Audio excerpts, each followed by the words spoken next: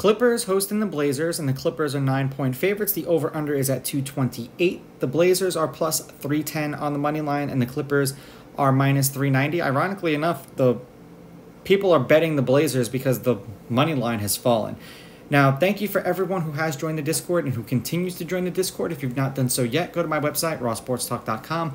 Click on the membership tab. It is a paid membership, um, but you will get access to my best bets. Win, lose, or draw, you'll see how I do. My stats are also in the Discord for all of the sports. Daily sports have the daily stats, weekly sports have the weekly stats, and I try to make sure that everything's in there and gets updated uh, religiously because I'm constantly in there.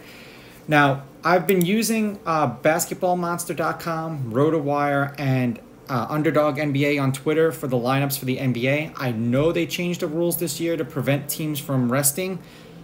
We'll just see how much of an impact it actually does have. We're supposed to have Henderson, Simons, Thybulle, Grant, and Ayton, and uh, likely starter is Thybulle. It's a coach's decision. Then we have Westbrook, George, Leonard, Covington, and Zubac. And yes, I know I said Westbrook because, you know, 30% from the field. Uh, uh, that's all I need to say. The Clippers are 9 and 1 in their last 10 against the Blazers. They are on a five game winning streak against them. The favorite is 9 and 1 on the money line. The favorite is 7 and 3 against the spread. The over is 6 and 4. However, the under 228 is 6 and 4 and the home team is 5 and 5. The last four games they've played against each other, the Clippers have won all of them. Three out of those four games were in Portland 102 90, 118 112, 107 102, and 136 to 125. So every one of those games but one, they won by nine. Well, no, two.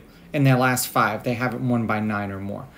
I'm going to take the Clippers with the money line. I'm going to take the Clippers laying the points. I will go under in this one because I think the Clippers will be the team doing the majority of the scoring. These are just my picks. If you disagree, please go with your gut and please bet responsibly.